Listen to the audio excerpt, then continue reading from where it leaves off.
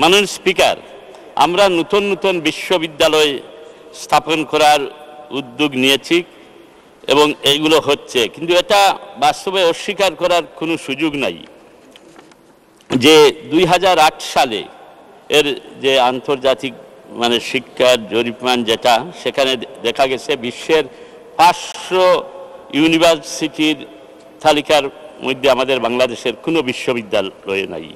এমনকি দুই হাজার তেইশ সালে যে রিপোর্ট প্রকাশিত হয়েছে, বাইশ তেইশে, সেখানেও আমাদের আটশোর ভিতরে আমাদের কোনো ইউনিভার্সিটি নেই। এগুলো অত্যন্ত উদ্বেগজনক। র্যাঙ্কিং এর কথা বলেছেন জনাব মোকাবির সাহেব। র্যাঙ্কিং এর বিষয়টি, এর আগে আমাদের কোনো বিশ্ববিদ্যালয় র্যাঙ্কিং এর বিষয় নিয়ে কোনো চিন্তাই করতো না।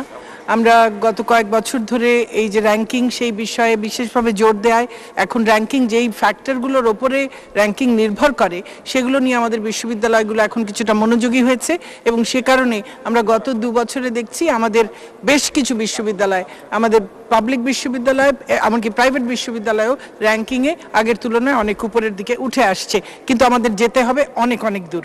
আমরা এমন একটা শিক্ষার গুণগত মান নিয়ে সেই চিন্তা করছি না যেগুলো নিয়ে ভবিষ্যৎ প্রজন্ম আন্তর্জাতিক বিশ্বে তাদের সমমনা সহপাঠী যারা তাদের সাথে কন্টেস্ট করতে পারবে।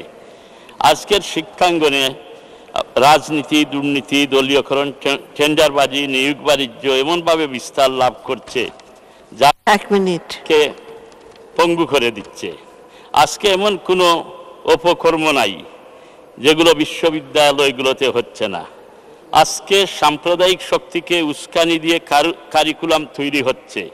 আমি মনে করি দক্ষতার সাথে এসবকে হ্যান্ডেল করতে হবে, যাতে কোনোভাবেই সাম্প্রদায়িক শক্তি এইগুলোকে পুঁজি করে দেশে অসাম্প্রদায়িক সাম্প্রদায়িক সম্প্রীতি যেটা এটা বিনষ্ট করতে পারে। শিক্ষাঙ্গনে নানান রকম বলছেন, রাজনীতি, টেন্ডারবাজি, এই জাতীয় কথাবার্তা বলেছেন। শিক্ষাঙ্গনের কি অবস্থা ছিল? অন্যান্য সরকারের সময় সেগুলো আমরা সবাই জানি, কেউ ভুলে যায়নি। অস্ত্রের ঝনঝনানি থেকে শুরু করে নিত্য, নিত্যদিন হত্যাকাণ্ড আমরা দেখেছি। আজকে শেখ হাসিনার সময়ে এসেই শিক্ষাঙ্গন শান্ত, শিক্ষাঙ্গনে সেশন জ্যাম নেই, আমরা শিক্ষাঙ্গন এখন শান্ত রেখেই আমরা চাল, চালিয়ে যাচ্ছি। সাম্প্রদায়িক শক্তিকে উস্কানি দেবার কথা বলেছেন। সাম্প্রদায়িক শক্তিকে উস্কানি দিয়ে কোনো কারিকুলাম তৈরি হয়নি। কারিকুলাম নিয়ে যদি কেউ মিথ্যাচার করে, অপপ্রচার করে সেই দায় কিন্তু সেই অপশক্তির। সেই দায় নিশ্চয়ই কারিকুলামের নয়।